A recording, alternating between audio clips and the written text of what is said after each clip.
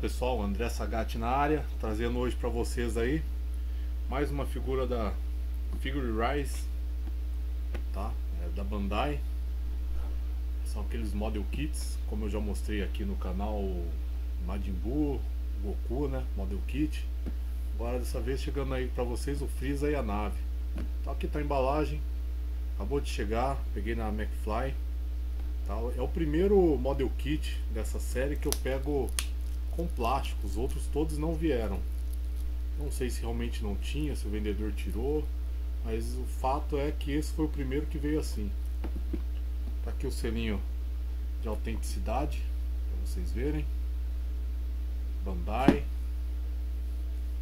Frente da caixa, tá o Freeza na nave, em desenho. Aqui na lateral, tá o Freeza, com a foto mesmo da, da figura montada, né? Vocês verem aí no, no detalhe. Lateral. Tá aí o mais um desenho do Freeza. Do outro lado está a nave, a nave do Vegeta que foi lançada também, logo tem review aqui no canal. Esquadrão aí, os comparsas do, do Freeza, né? Ver se dá pra vocês verem melhor aí. Então não vejo a hora de pegar minha Space Pod do Vegeta, tá chegando aí. Outro lado, outro desenho do Freeza.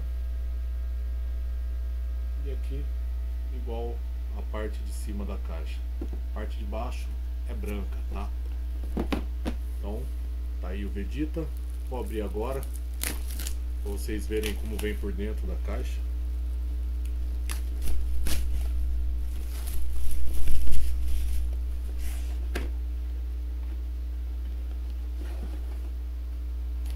Então, ó, Model Kits Bandai, todos, sem exceção, vem assim nessas cartelas. Aqui estão os pedaços da nave, o Freeza para montar também, que ele vem desmontado. Todas as cartelas vêm com uma letra. Ó, aqui, por exemplo, essa aqui é a letra A, tá vendo aqui? E além da letra, cada peça tem uma numeração.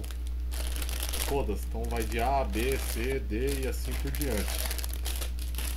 Aí vem, obviamente, manual, né? Senão a gente não faz nada. Tá aí o manual. O manual é bem simples, tá? Intuitivo. Então, como que funciona o manual aí para quem não, não tem experiência? Esses model kits, tá aqui, ó. Então aqui tá a letra, ó, letra B5 encaixa na B6 e assim por diante. Então ele vai, vai passando as letras e você vai encaixando. Aqui tá o manual do Freeza. Tá? Todas as peças são de destacar. Eu destaco com a mão, muita gente aí destaca com alicate. É mais fácil, mais bem polido, mas eu vou com o dedão mesmo. E aqui em uma das cartelas vem os adesivos que a gente cola no Freeza, no rosto do Freeza. Não sei nesse caso onde vai, serão colados, tá? Eu acho que é o painel da nave aqui no caso. É isso aí. Agora a gente vai montar e depois a gente vai comparar a escala com, obviamente,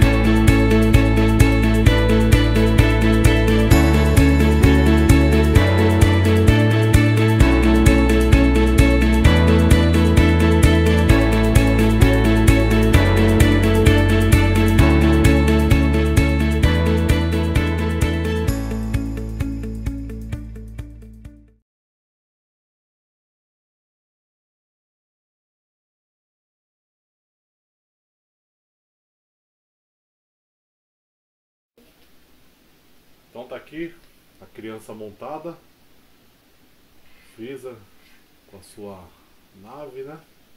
Comparando aqui com o Freeza Figure Rise, em sua última forma, e com o Freeza da Figuarts.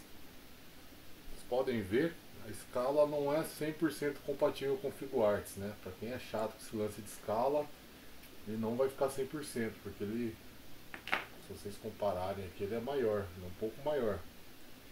Mas passa despercebido no meio da coleção, tranquilamente. Como eu já disse em outros vídeos, eu não tenho esse lance muito com, com escala, então pra mim tá de boa.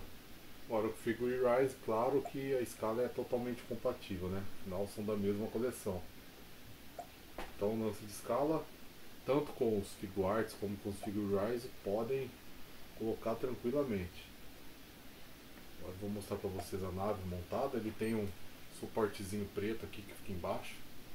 Já disseram que poderia ser transparente e eu concordo.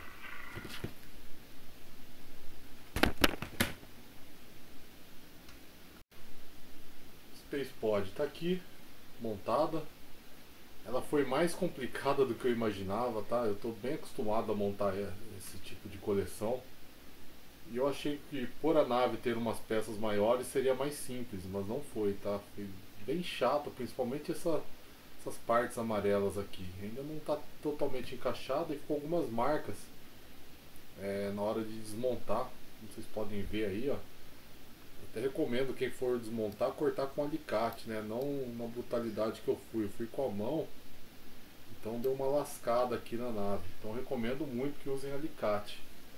Essa figura não veio com tanto adesivo assim para colocar, eu nem coloquei esses adesivos porque eu odeio. Depois ficar saindo, vou até colocar no painel depois, tá?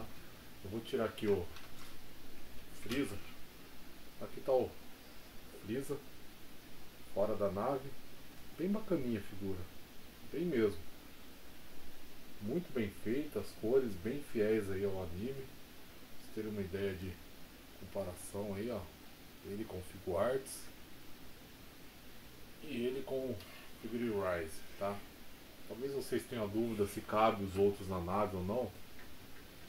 Não vejo muito sentido em colocar porque são versões diferentes do Freeza, né? Vamos tentar aqui o. Obviamente você vai ter que tirar o rabo dele.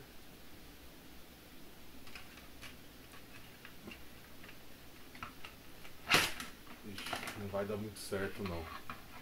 Porque por causa da perna perna dele não vai ficar totalmente dentro, então ele não vai sentar muito na cadeira. Mas tá aí, ó, o máximo que dá para vocês fazerem vai ficar aqui, ó. Quem quiser pode pode colocar ele sentado aí. Tá aí, ó. Mas não vai ficar 100% bacana não. Tá aí, ó. Quem quiser utilizar, vou dar um foco aí pra galera ver melhor. Cabe, vai, não vou falar que não cabe, cabe, dá pra deixar, mas essa forma do Freeza eu não lembro dele ter usado a nave nessa forma. E o Figure Rise, ele. Vou tirar o rabo dele aqui. Pra gente ver se ele cabe.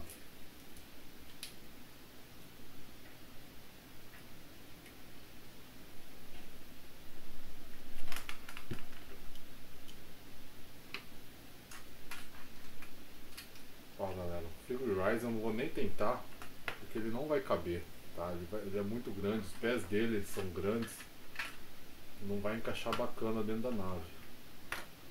Ele não vai ter essa articulação necessária aqui. O, o próprio que vem, o Freeza que vem na nave, ele já vem com os braços na posição, tá vendo?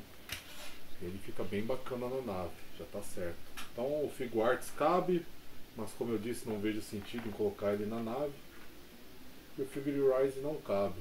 Ou cabe, mas vai ficar muito, muito feia. Oh, desculpa, quase que eu quebro tudo agora. mas vai ficar muito feia a posição dele. Então tá aí a figurinha. Recomendo pelo valor, tá? Paguei um valor bem baixo nessa figura. Bem baixo assim, comparando com os figuarts que a gente já está acostumado com o preço, tá? Só que pagar em média aí 200 reais nessa navinha com frisa. Pra deixar ele exposto é muito bacana, tá? O Freeza não tem articulação nenhuma. É uma mini estátua aí montável, você monta e coloca ele na nave. Mas como coleção e como fã aí de Dragon Ball eu recomendo. Claro, quem é fã vale muito a pena. Quem não é, não teria sentido nenhum comprar essa peça. Mas tá aí, espero que vocês tenham gostado. Tô aqui com o Sagatinho Júnior. Fala aí, filhão, quem gostou do vídeo, o que, que tem que fazer? Tem que inscrever no canal e o celular não. E tem que curtir também ou não? Também tem que curtir no não celular. Então tá bom, gente. Vamos ficando por aí. Muito obrigado.